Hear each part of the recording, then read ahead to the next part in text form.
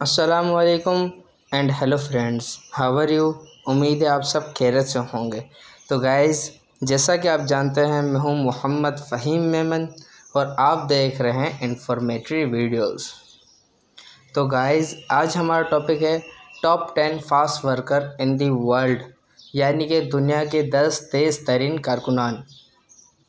तो गाइज़ अगर वीडियो पसंद आए तो ज़्यादा से ज़्यादा लाइक और शेयर करें। और सब्सक्राइब करना ना भूलें। और बेल आइकन को दबाएँ इन्फॉर्मेटिव वीडियो सबसे पहले देखने के लिए। तो गाइस शुरू करते हैं वीडियो